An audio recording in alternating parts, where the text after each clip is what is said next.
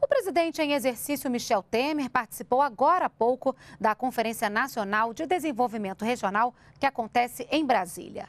Durante o encontro, assinou termo que define prazo de 180 dias para o governo federal apresentar uma nova proposta da Política Nacional de Desenvolvimento Regional. A nova política vai ser definida a partir das diretrizes aprovadas nesse encontro. Quando nós vemos as diferenças regionais, nós temos que fazer gestos e atos tais como este que aqui está sendo hoje finalizado.